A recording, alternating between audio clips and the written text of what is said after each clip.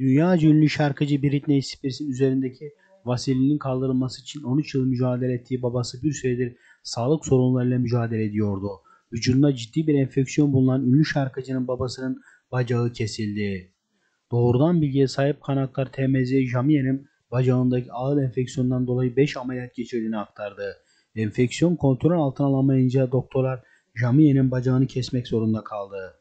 Durumun iyiye gitmediği belirtilen Jamiye'nin başka kronik hastalıklarla da mücadele ettiği belirtildi.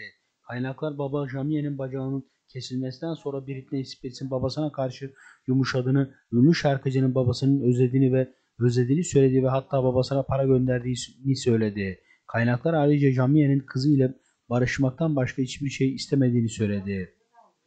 Şimdilik videomuzun burada sonuna geldik. Gündeme dair gelişmelerden anında haberdar olmak istiyorsanız aşağıdan kanalıma abone olup bildirimleri açabilirsiniz. Renkli sayfalar.